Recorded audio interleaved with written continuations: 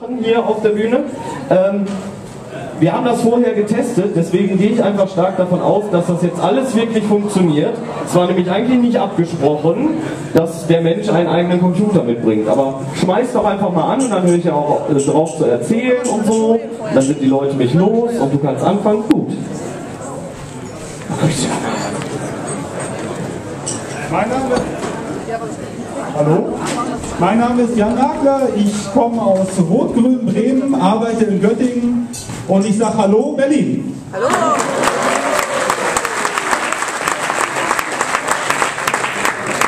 Wenn man sich diesen tollen Titel hier anschaut, dann werdet ihr feststellen, dass der ziemlich angewandt ist und ich denke, das passt auch ganz gut für den heutigen Abend. Ähm, ich lese mal nicht vor, aber die Anfangsbuchstaben und ein Endbuchstabe das, äh, da kann man einfach nichts anderes außer so einen Slam dafür machen. Und ähm, ja, Antikorrelation werdet ihr auch nach dem Talk nicht verstehen, aber ich versuche es trotzdem einfach mal. Ähm, irgendwo müssen wir allerdings anfangen. Also fangen wir einfach mal mit was ganz Einfachem an, mit Primzahlen. Primzahlen kennt ihr alle, oder? Ja. Okay, was ist denn die vierte Primzahl?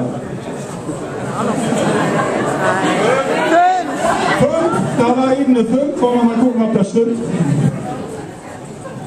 Nein, die vierte Primzahl ist die 9 und das ist auch gleichzeitig ein Messfehler, weil Einstein kann noch nicht falsch sein. Gut, aber vielleicht war der, war der hier doch kein Genie und er irrt sich in diesem Fall. Gucken wir nochmal, was, was überhaupt eine Primzahl ist. Also eine Primzahl ist irgendeine Zahl, die sich nicht als Produkt kleinerer ganzer Zahlen darstellen lässt. Zum Beispiel ist die 4 keine Primzahl und die 6 nicht und die 27 auch nicht. Hier habe ich mal alle Primzahlen aufgeschrieben. Ja, zumindest einige, ja. So, und äh, wenn man sich die Primzahlen anschaut, dann sieht man auch, die steigen, aber sonst so richtig äh, Irgendwelche Muster erkennt man daran nicht, deswegen habe ich einfach mal die Differenzen gebildet. Was für Differenzen? Einfach mal die nächsten Nachbarn mal voneinander abgezogen. Das ist hier zum Beispiel 6 in dem Fall. Und ähm, dann kann man auch noch, hier sieht man irgendwie auch nicht viel, in diesen Differenzen können wir auch mal trotzdem voneinander abziehen. Dann können wir uns einfach mal die Differenzen der Differenzen anschauen. Und jetzt sieht man natürlich schon eine ganze Menge. Ja, also zum Beispiel sind sie negativ, das ist schon nicht schlecht. Nee, natürlich sieht man ja auch nichts, aber was eben das Thema ist, da gibt es Strukturen. Und eine Struktur sind eben Korrelationen. Und da wollen wir ein bisschen extrem in die Tiefe gehen. So, das wäre hier die 0, 2 minus 2. So, nochmal hier zum Mitschreiben. Also die Differenzen der, Differenzen der Primzahl ist praktisch ein Strickmuster für die Primzahl. Man muss nur zweimal addieren, dann kriegt man die Primzahl wieder raus. Das heißt, wenn wir da irgendwas finden, dann gilt das auch für die Primzahlen. Nun sind die aber ziemlich kompliziert und bis jetzt hat noch keiner wirklich was gefunden. Also zum Thema Korrelation, was ihr alle noch nicht kennt. Aber es ist noch zu einfach, also gucken wir uns erstmal langreichweitige Antikorrelation an. So, und zwar hat ein Kollege von mir aus Boston 2003 da was gefunden bei den Primzahlen. So, um das wirklich zu verstehen, fangen wir mal einfach an. Wir gucken uns erstmal an, was Korrelationen sind. Ähm, das war jetzt hier falsch. Und ähm, das hat für, achso, das ist hier, das hat für große Aufregung gesorgt, diese Publikation, weil wenn immer man irgendwas findet in den Primzahlen, hat das auch Auswirkungen zum Beispiel auf Verschlüsselungstechnologie und dann äh, schreit das CIA zum Beispiel. Ähm, was, was sind jetzt überhaupt Korrelationen? Nehmen wir mal an, das ist jetzt hier die Spree und es gibt einen Wasserstand, der ist hoch und danach ist der Wasserstand auch hoch, dann sind die beiden Stände positiv korreliert. Oder der Wasserstand ist negativ und danach ist der Wasserstand auch negativ, sind sie auch positiv korreliert. So, was heißt jetzt danach? Ich wollte langreichweitig erklären. Erstmal kurzreichweitig wäre nach einer Sekunde oder so sind sie eben positiv, positiv, negativ, negativ. Aber langreichweitig bedeutet auf allen Skalen, zum Beispiel auf, auf der Skala von Tagen, auf der Skala von Wochen, von Monaten und von Jahren. Und manchmal gibt es auch so Zeitreihen, die sind über Millionen Jahre langreichweitig korreliert. Und ein Beispiel sind zum Beispiel Quasare, wenn man da reinschaut, die Fluktuation von dem Licht, das sie aussenden, ist langreichweitig korreliert. Positiv. Auch Leute, die halt Musik untersucht haben. Dann nehmen wir mal der, der Stand, das, der Wasserstand äh, der, der Spree entspricht praktisch der Notenhöhe. In wirklich tollen Musikstücken findet man auch langreichweitige positive Korrelationen. Und äh, wenn man sich selbst Justin Bieber hier mal anhören würde, das analysieren würde, hat aber glaube ich keiner gemacht, würde man da auch welche finden, denke ich. Vielleicht auch nicht. Und wenn man auf die Börse guckt, da seht ihr so einen Chart, auch, auch eine Zeitreihe, ja, also irgendwas hängt von der Zeit ab. Die langreichweitigen Korrelationen können manchmal ziemlich wehtun.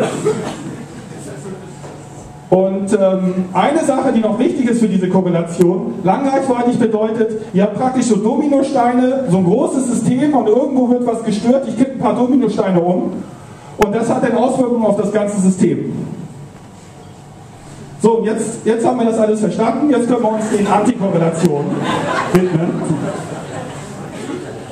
So, wenn ich mich hier so umschaue im Publikum, denke ich, hat keiner hier ein Problem, dass wir erstmal, um das besser zu verstehen, Raum gleich Zeit setzen.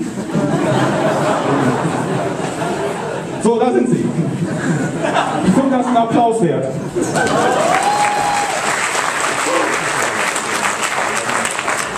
So Antikorrelationen sind so ähnlich wie positive, bloß eben doch nicht. Also Anti heißt nicht groß folgt auf groß, großer Wasserstand auf großen Wasserstand, sondern großer folgt auf klein. Das habe ich hier so angedeutet. Grüne Kugel folgt auf weiße Kugel. Dann wieder grün, dann wieder weiß. Also so alternierend.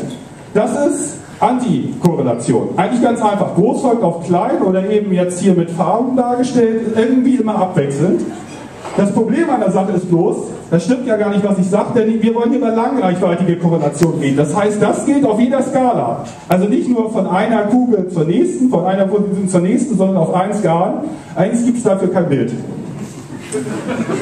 Alle Skalen heißt aber, wenn wir jetzt wieder Raum gleich Zeit setzen, also das in der Zeit begutachten, das geht halt für Sekunden, für Monate, für Jahre sozusagen auf allen möglichen Zeitskalen oder im Raum.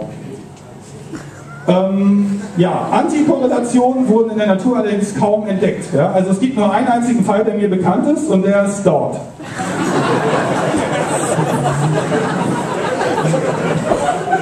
Da hat man eine langreichweitige Antikorrelation gefunden, und zwar in der Nase vom Löffelstör. Da hat er so einen Rezeptor, mit dem er so elektrische Impulse äh, aus der Umwelt wahrnimmt, um irgendwelche Viecher zu fressen. Ja, und da hat man die halt gefunden.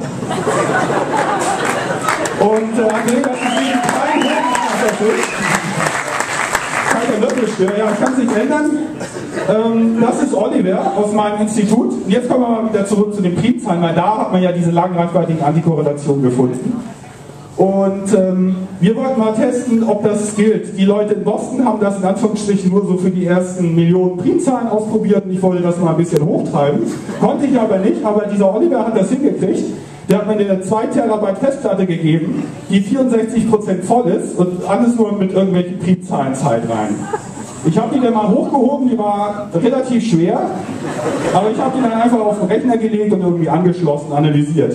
So, was habe ich denn da analysiert? Ich wollte jetzt irgendwie loslegen und gucken, ah, sind die langreichweitigen Korrelationen jetzt auch für ganz große Primzahlen da? Und dann habe ich festgestellt, scheiße, jetzt weiß ich auch, warum die in Boston das nur bis 10 auf 6 genommen haben, also bis eine Million. Es gibt einfach kein Tool, mit dem man das machen kann, weil die Zeitreihen einfach zu lang sind.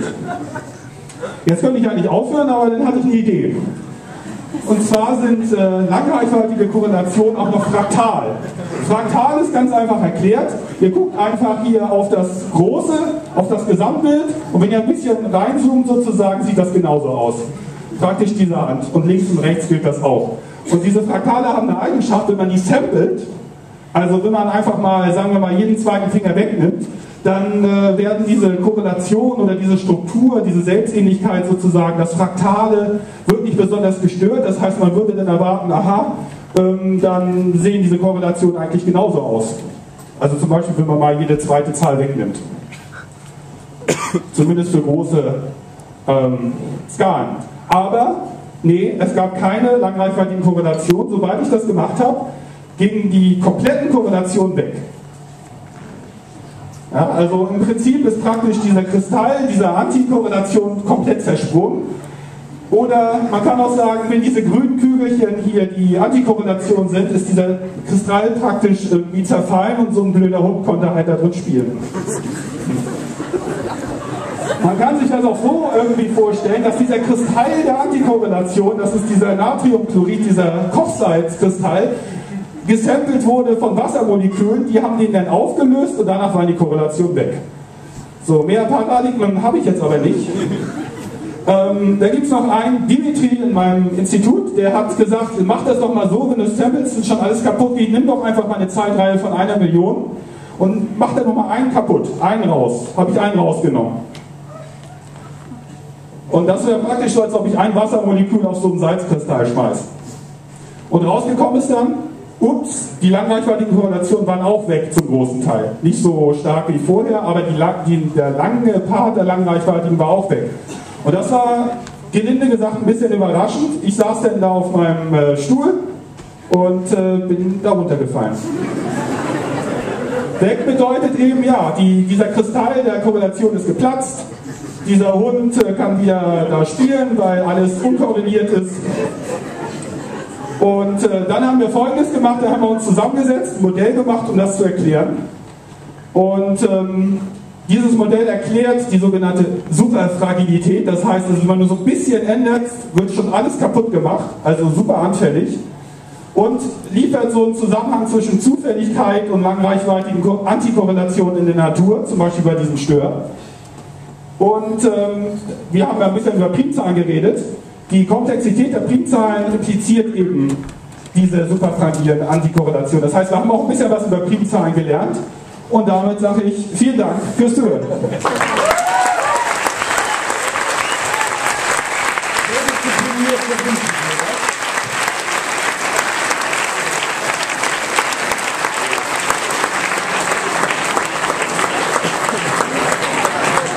So, meine liebe Jury, ich höre das schon, da wird heftig diskutiert. Ihr habt wieder zwei Minuten, solange die Musik läuft, um eine Note zu finden für Janne Nagler.